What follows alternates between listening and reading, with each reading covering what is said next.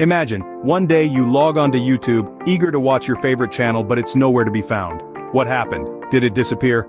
No, it's the YouTube algorithm at work. This mysterious entity shapes your YouTube experience prioritizing content from channels with high engagement. Likes, comments, shares, they all weigh in, but subscribers hold a special place in this equation.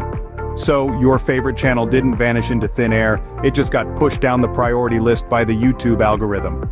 Now you may ask, how can I ensure my favorite channel doesn't get lost in the algorithm shuffle? The answer is simple. Subscribe and turn on notifications.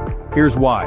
When you subscribe to a channel, you're sending a powerful signal to YouTube's algorithm. You're saying, I'm interested in this content, that's a big deal.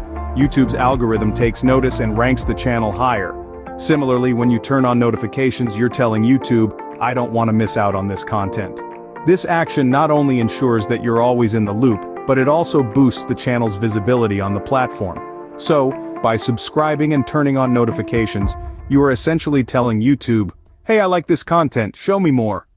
So you see, your simple action of subscribing and turning on notifications has a significant impact on keeping your favorite content alive and kicking on YouTube. Just imagine, each time you hit that subscribe button, you're not only securing your front row seat to your favorite creator's latest content, but you're also giving them a much-needed boost in this ever-changing world of YouTube algorithms.